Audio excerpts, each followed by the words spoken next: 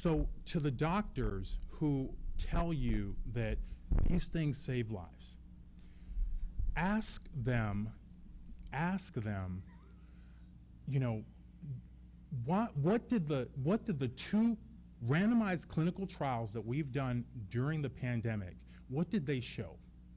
Ask them that when they tell you that these things save lives. One found nothing, zero benefit.